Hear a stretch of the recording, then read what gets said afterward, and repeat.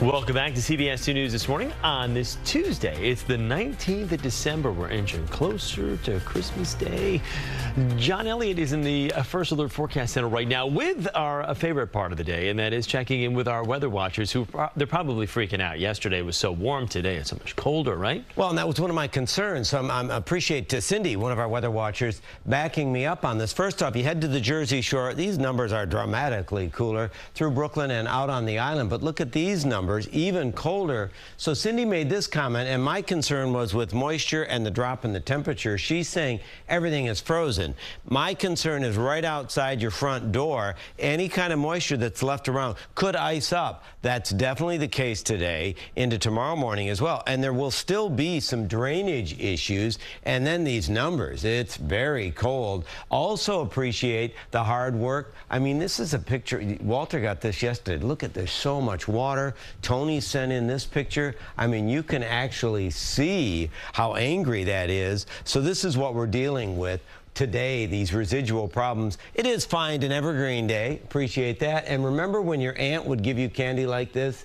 It's Hard Candy Day as well. So Sweet Bob sent that in. All right, let's talk about those temperatures. The drop you feel, you sense, and it does contribute to a kind of a return to normal December numbers after skyrocketing for a good part of the month. Want to use some model guidance, though. What's it feel like? So this morning, wind chills are actually going to retreat a bit, and then into the afternoon, after work, after school, it's going to be even colder. It's just very brisk. It'll be brighter over the next few days, but if you catch the wind, it's very cold. Same deal tomorrow morning. We finally see things moderate a bit into Wednesday, but we're settling into a cool pattern, but it is a dry pattern. So we do get to catch our breath.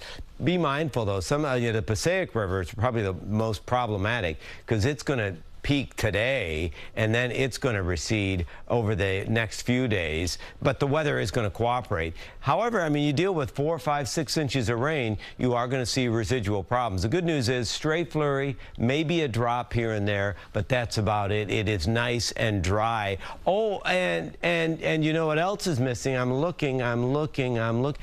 I don't see any snowflakes. So let's send it out to uh, Tony Sadiku with some uh, snow and snow fun coming our way. Morning, Tony.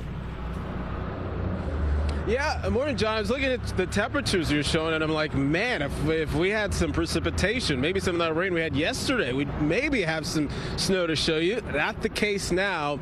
And uh, the big question, though, is how do we define a white Christmas, especially as we approach the holidays? A lot of you growing up, maybe you're thinking, well, if it's snowing or there's snow on the ground, that's a white enough Christmas, right? Well, the National Weather Service put some uh, actual, put an actual definition to this, and I'm showing that to you right now. So a white Christmas is defined officially as there being an inch of snow on the ground at 7 a.m. It's got to be at 7 a.m. Don't ask me why, but that's the official definition. So, what are the odds we see that this year?